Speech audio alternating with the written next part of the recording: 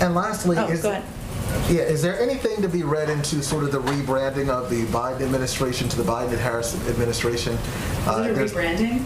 Well, when you, when you look on the website, it's, you know, it not, it's just Biden Harris, and that's not been uh, necessarily the norm in the past. Is there any message being sent by that, or what's meant to be, uh, what can be extrapolated from I that? would take from it that Vice President Harris is an important partner. She's the first in the room, the last in the room on most occasions if she's in town and not traveling around the country. Um, It's a reflection of the important role uh, that she will play moving forward. Go ahead. And speaking with